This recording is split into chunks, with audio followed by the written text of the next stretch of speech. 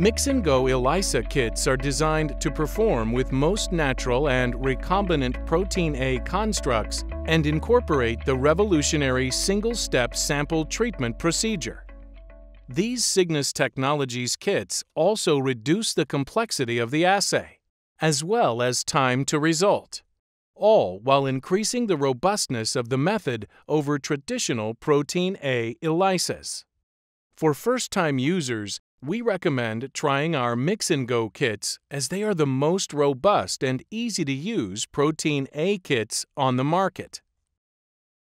The F610 uses standards calibrated to unnatural constructs such as MabSelect SuRe, while the F600 uses standards calibrated to natural and conserved protein A. Cygnus Technologies also offers Mix and Go kits for Protein A resins from JSR, Tosoh, and Kaneka. This video will demonstrate proper techniques for performing a Mix and Go assay. Let's begin by reviewing the sample treatment procedure. First, prepare the initial sample dilutions as required, prior to sample treatment.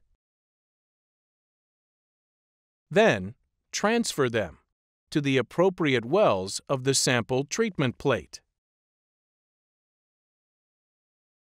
All subsequent dilutions to be assayed can be made in the sample treatment plate using Mix and Go sample diluent. You will need to ensure that the final volume in every well is 100 microliters.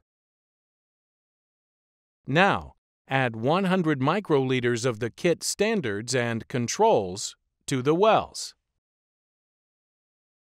Then, add 50 microliters of Mix and Go denaturing buffer to each well and immediately mix.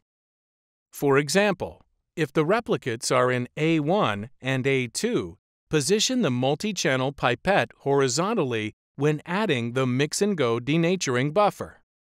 Mix by pipetting up and down approximately 15 times.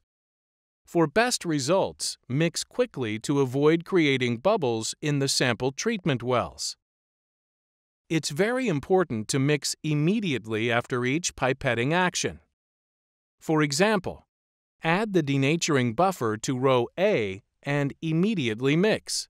Then move to row B and repeat. Use fresh tips for each addition.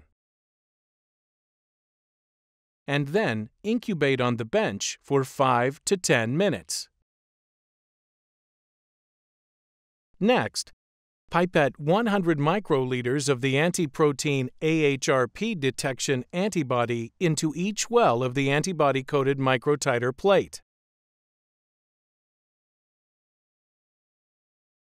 Then, pipette 25 microliters of the denatured standards, controls, and samples into wells indicated on your work list.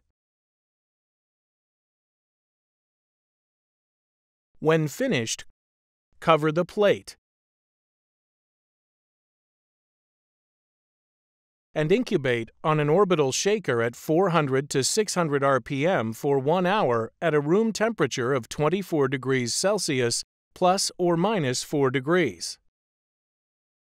After one hour, dump the assay plate into a large sink or appropriate container. And then blot the assay plate over absorbent paper. Be sure to gently but firmly tap the assay plate to remove most of the residual liquid.